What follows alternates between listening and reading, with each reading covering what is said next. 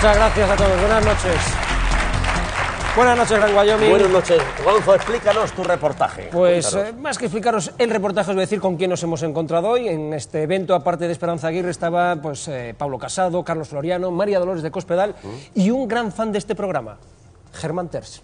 Hombre, también.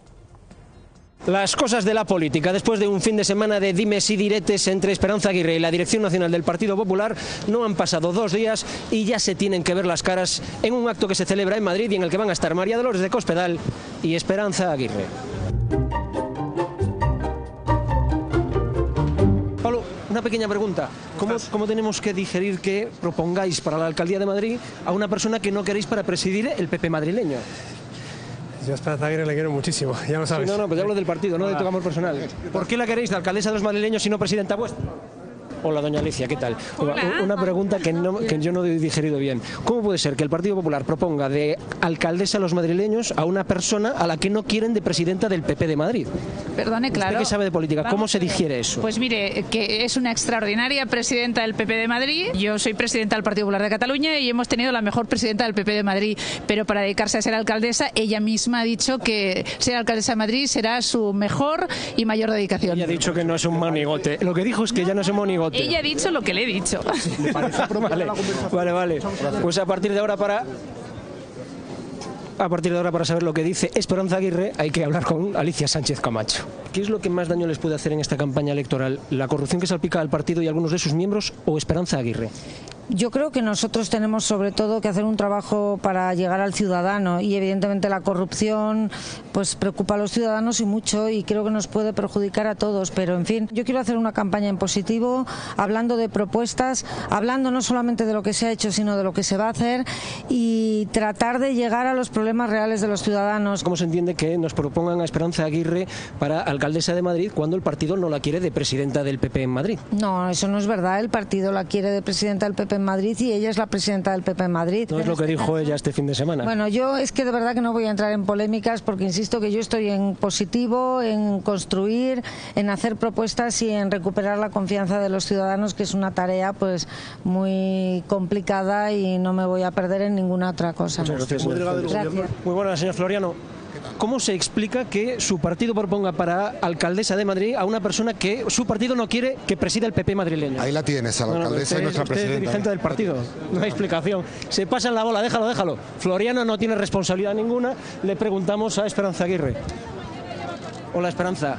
¿Cómo digiere usted eso, que, que el partido la proponga a usted de alcaldesa de los madrileños y no la quiera de presidenta del partido en Madrid?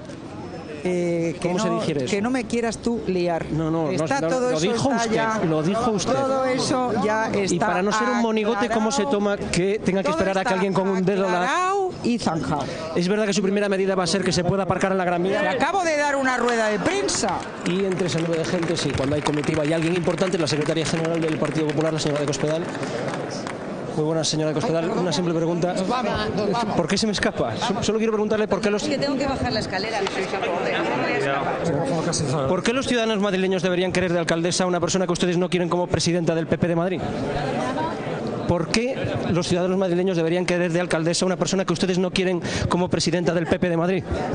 Secretaria General, por favor. ¿Aguirre hace más daño al partido dentro de la política o fuera de la política? Hasta luego. Como hemos podido comprobar, eh, la señora de Cospedal no tiene ganas de atendernos por el movimiento que hizo para esquivarnos y porque una vez que escuchó las preguntas tampoco quería. Vamos a volver a intentarlo, a ver si esta vez tenemos algo más de suerte. Señora Cospedal, ¿es cierto que ustedes le pusieron como condición a Esperanza Aguirre dejar la presidencia del PP de Madrid para ser candidata? Cada uno hace su trabajo, le hemos hecho las preguntas. María Dolores Cospedal no tiene ganas de hablar, por lo que hemos sabido este fin de semana, se maneja mucho mejor por teléfono. Un segundo que he esperado todo el rato y sin comer para hacerle esta pregunta. Come, come, come. ¿Se compromete usted, se compromete usted a que va a permanecer cuatro años en el cargo para el que la elijan los madrileños, ya sea alcaldesa o jefa de la oposición? Te voy a dar una respuesta que te va a dejar helado. Pero me promete que ya no me haces más preguntas. Bueno, usted deme la respuesta y ya veremos Vale. el estado en el que me quedo. ¿Vale? Dígamelo. ¿Va a aguantar Sí. los cuatro años? Sí. ¿Y por qué esta vez tenemos que creerla? Cuando usted dijo ya que había dejado la primera línea de la política, dijo varias veces que no quería ser alcaldesa. No, no. ¿Por qué esta vez sí que es la verdad? Lo que dije es que la política era mi vida y que seguiría en política. No quiero ser alcaldesa de Madrid. Ni candidata ni alcaldesa. Señor Terz, Un segundo. Nos hemos enterado que... Gentuza no hablo, ya sabes. Si, no, si, está, si, está más que, lo a decir- si está más que hablado. No, chico. yo, pues ya yo- tienes, yo sí, ya yo- tienes el yo hablo con alguien no le gen- soy gentuza y no hablo con gentuza. Le queríamos ofrecer la posibilidad, si quiere, de presentar su libro, el que va a publicar, en el intermedio. Le pagaríamos, evidentemente. Igual que como contribuyentes pagamos su defensa en el juicio contra nosotros, quería que valorase esa posibilidad. Presentar su nuevo libro en el intermedio. Váyaselo pensando. Un último gentuza, por favor.